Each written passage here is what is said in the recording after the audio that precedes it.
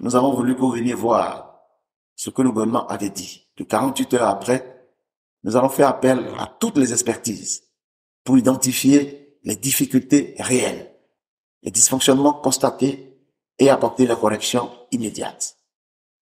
C'est ce qui est en cours. Vous êtes venus, vous avez vu que l'équipe des experts ont été renforcés.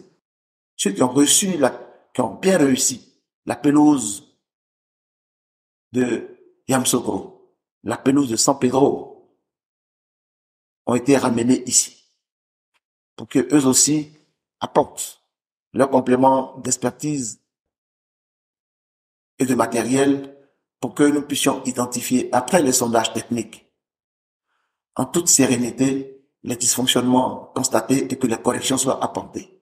Aujourd'hui, nous avons la claire vision de ce qu'il faut réaliser.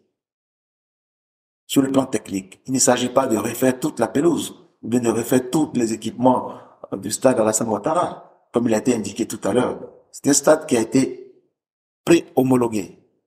Parce qu'on n'aurait pas pu jouer ce match si la CAF ne l'aurait pas autorisé.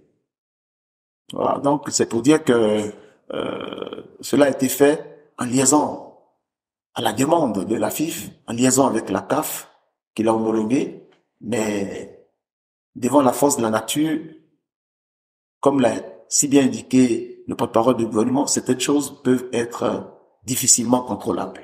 Il nous appartient de tirer les leçons et d'apporter les réponses idoines. Et ces réponses sont en cours d'exécution aujourd'hui. Nous avons un timing précis.